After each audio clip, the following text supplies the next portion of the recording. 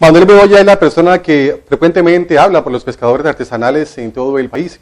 Él asegura que hay un caso no conocido por parte de las autoridades en esta región y es que hay delincuentes en la frontera con Ecuador, lo que obliga a varios pescadores ecuatorianos a surcar las aguas colombianas en procura de huir de la piratería marina.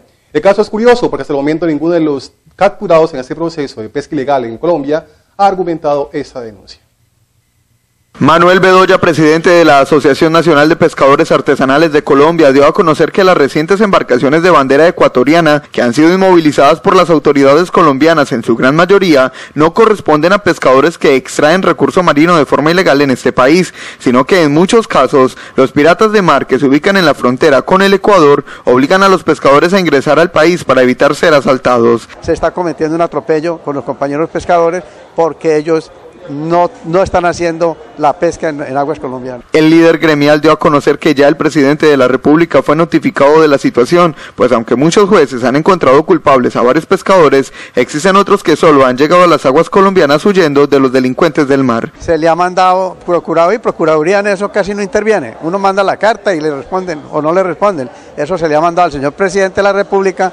En este momento el señor presidente de la República le está mandando a todas las instituciones el, que, que, tienen que hacer frente a esa situación. Eso lo hemos denunciado ya. Las autoridades aún no han hecho un pronunciamiento oficial sobre esta situación, que de ser cierta sería algo insólito.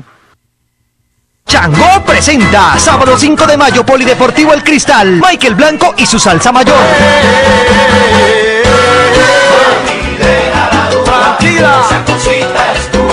Pedro Calvo y Mayito Valdés.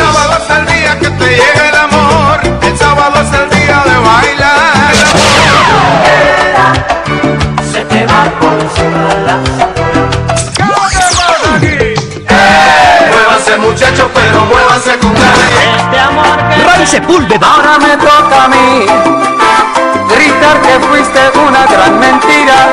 Ahora me toca a mí. Choco Horta. Él tiene que pedirme perdón, él tiene que luchar por mi amor, tiene que sacar de mi alma esta espina.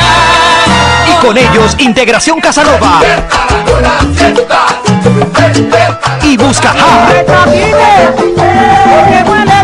Recuerda, sábado 5 de mayo, gran concierto de Cuba y Puerto Rico para el Pacífico. Polideportivo El Cristal, info 244-6193. Invita changorradio.com.